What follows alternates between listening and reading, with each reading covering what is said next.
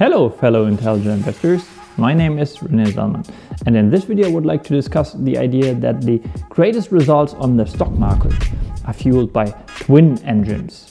So in this video I will discuss which two components are needed if you want to enjoy the returns of a multi-bagger.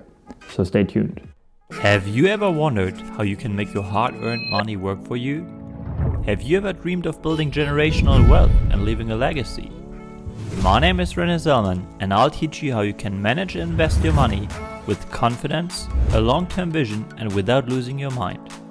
Join me on my journey of intelligent investing and learn how smart people can compound their money effectively and accumulate wealth. Alright, so essentially I would like to discuss how investors can enjoy the returns of a 100 bagger, so a stock that returns $100 for every $1 invested. And in his book 100 Baggers. author Chris Mayer describes the aforementioned twin engines. And he argues that they almost always need to be present, over time at least, for a stock to achieve 100 bagger status. So what is he referring to when he's speaking of twin engines?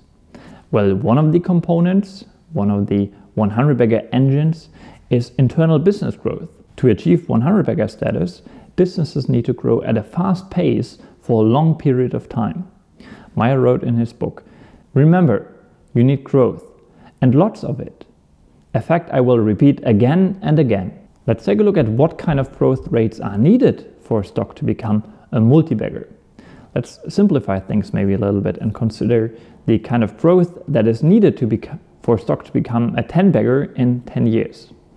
Well, if we use the rule of 72 to estimate how long it takes for a stock to double, then we can estimate that it takes a company that can sustain growth or a growth rate of 15%, five years to double. 72 divided by 15 is roughly 5. Keep in mind that we are just sticking to back of the envelope math here.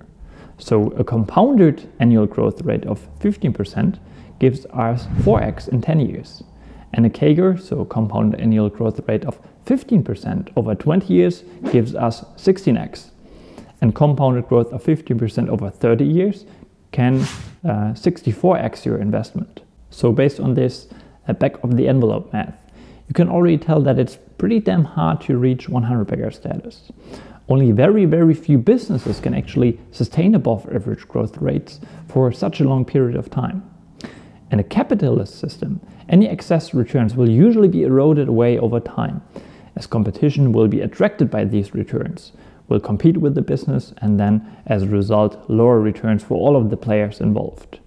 So, a prerequisite for a stock to become a 100 bagger is certainly that the company possesses a strong and maybe more importantly, a durable moat that can fend off competitors. However, even the strongest businesses in the world might struggle sustaining growth rates of 15% or more for a long period of time. And that's because of the law of large numbers. In business, the law of large numbers states that as a business expands, uh, maintaining high growth rates becomes increasingly difficult. That's why the easiest way to have a high compound rate for a long period of time is to start from a small base. And this is a concept we actually discussed in a previous video of mine, in my video on Mohnish Pabrai's uh, $50 billion rule. And I will add a link to that video to the description box down below. Thomas Phelps, the author of the original 100 Bagger book, the book that inspired Chris Mayer, actually included the following table that shows how much and for how long a stock must compound its value to multiply a hundredfold. And I will add another graph here. According to Chris Mayer's book, it takes most companies between 16 and 30 years to reach the honor of being a 100 bagger. So there must be something else here that can maybe speed up the process. A growth rate of 15% over a long period of time, which is already very rare, is hardly enough to enjoy the returns of a 100 bagger. And that's why the greatest results on the stock market are fueled by twin engines. Growth is one of these engines, and multiple expansion is the other one. And Chris Mayer actually addressed this as well, and I already showed you the first part of a quote from his book. Let's include the second part here. Remember, you need growth, and lots of it. A fact I will repeat again and again.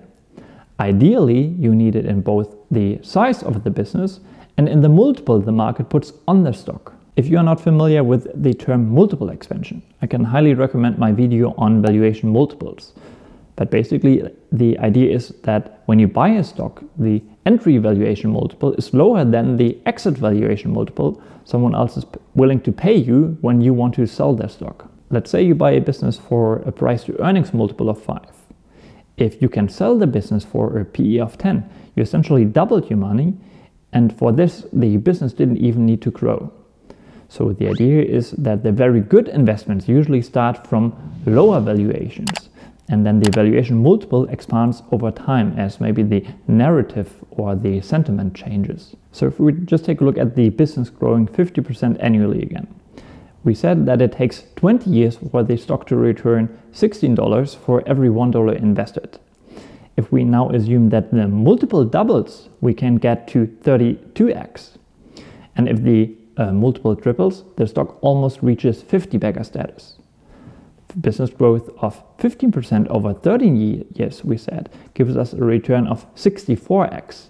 And if we now add multiple expansion to that formula, we could get to a 100 bagger. So that was the theoretical part.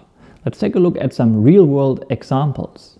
In his book, Considering Stocks, Hits and Misses of a Sensible Investor, Heikki Keskiväli shared the following table that showed how all of the listed 100 baggers, the Amazons, Monsters, and Adobes of the world, enjoyed both business growth, growth of revenue, but they also benefited from a significant expansion of their valuation multiples. And I would actually like to take a look at one particular company that you cannot find in this table. Let's do a quick case study here. Well, XPEL is another company that massively benefited from the twin, twin engines that we basically introduced in this video. And XPEL has actually been one of the best performing stocks since 2013 and actually achieved the status of a very of a 100 bagger uh, very quickly within seven years. Basically, very high growth and a much more favorable multiple led to the remarkable uh, performance of XPEL stock, at least for those investors that were able to buy right and maybe more importantly, those investors that were able to hold on throughout this seven year period. So, first of all, XPEL was a small company in 2013. At the end of the year 2012, it had a market cap of only $6 million. So, clearly, it was starting from a very small base. It was essentially a nanocap stock. And back then, the stock was trading at a price of 26 cents per share. And as of March 2021, the stock is worth more than $50. The guys of Co-Investor Club, which is basically a community, community for uh, value-oriented investors, well, they have recently published an excellent piece of writing in which they uh, analyzed XPEL's journey to becoming a 100 bagger. And here's the overview they included in their paper for the end of year 2012. So in this overview, you can see that XPEL was not only a nanocap stock, no moreover, the company was also trading at very cheap valuation multiples. EV to sales was 0.6 and EV to EBIT was 5.77. So let's fast forward to today, or more specifically to the end of the year 2019.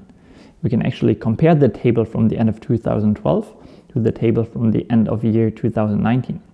And we can see both growth in revenue, earnings per share and EBIT, but also an expansion of the multiple. And in 2020, the stock really picked up steam. If we consider the development from 2013 to today, we can see, we can see an even more extreme expansion of the multiple. The EV to EBIT multiple is now above 60, and the EV to sales multiple is now around 9. XPEL's market cap is now an astonishing $1.4 billion so clearly the stock enjoyed the tailwind of an expansion of its multiple. But internal business growth is also quite impressive, as these charts show that uh, XPEL was able to grow its revenue quite significantly. Its EBIT too, and we can also see growth in net income. Now clearly every investor dreams of A. finding such a stock and B. having the emotional robustness to hold onto the stock for this wild, wild ride because they have actually also been um, some quite significant drawdowns. Let me just show you here how XPEL's stock was described in 2013 in a write up on Value Investors Club. If you don't know what Value Investors Club is, it's basically an exclusive online investment club where top investors can share their investment ideas. Feel free to pause the video here to read it. I would say, at least in retrospect, this investment thesis sounds so simple, doesn't it? So, what's the bottom line here? Well, to find a 100 bagger, you likely need both earnings or business growth and an expansion of the multiple. Generally speaking, I would say it's better to buy expensive businesses that are fast growing. That's at least better than buying a declining, declining business that is trading at a low multiple. But if you're truly hunting for 100 baggers, you have to pay attention to the firm's growth prospects, but also the valuation. A low entry price in combination with a, a company's long term profit potential is critical and can do wonders if you are looking for yeah, phenomenal long term returns. I'll also add that almost all 100 bagger companies are run by owner operators.